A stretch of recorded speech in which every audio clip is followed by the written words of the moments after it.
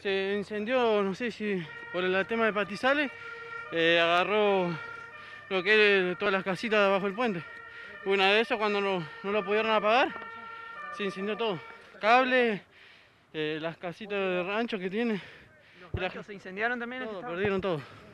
Pero bueno, decir que tenemos la actitud del barrio que entre nosotros vamos a Ustedes son vecinos acá del barrio que están en este momento con 30 baldes con agua, mangueras. Manguera, agua, balde, frazada, lo metimos todo para poder ayudar a esta gente. Las personas, ¿cómo están? todo. Las personas, ¿cómo están? Llorando, llorando porque no le quedó nada. Y bueno, hay que ayudarlo. ¿Hubo alguna afectada físicamente? con no había nadie, pero el humo te, te afecta. El humo es lo más peligroso que hay. Vienen castigados porque ayer también un incendio grande. Del otro lado de la laguna se incendió todo. Sí, pero siguen quemando y todo. No ¿Son sé. intencionales? ¿Ustedes creen que son intencionales estos incendios? Y no, no, para. No sé, no sabe.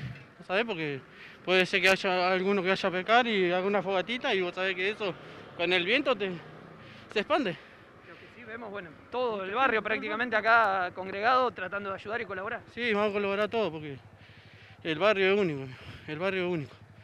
Así que bueno, papi, hay que ayudar, ahora vamos a ir- logramos apagar un poco y vamos a seguir más hasta que se apague entero. Los bomberos llegaron rápido. Llegaron y sí, demoraron un rato, demoraron un rato, pero bueno, como, como lo ven, allá viene el otro, otro bombero a, ver- a seguir. Así que bueno, vamos a ayudar. Es impresionante cómo cuesta controlar el, el fuego, uno no sabe si es Es por el como, viento, el, es como el agua, no tiene rama. Donde el viento agarró un poquito con los patizales secos, chao, no lo paga más. Claro, la sequía también La colabora. sequía, Sí, más la bajante del río, todo. ¿Cu- Se prende. ¿Cuántos ranchos, personas creen que había en este Y asentamiento? acá había como 15, 15 ranchos, por lo menos. Estas personas quedan en la calle, Y van a lamentablemente. quedar- sí, van a- hoy van a.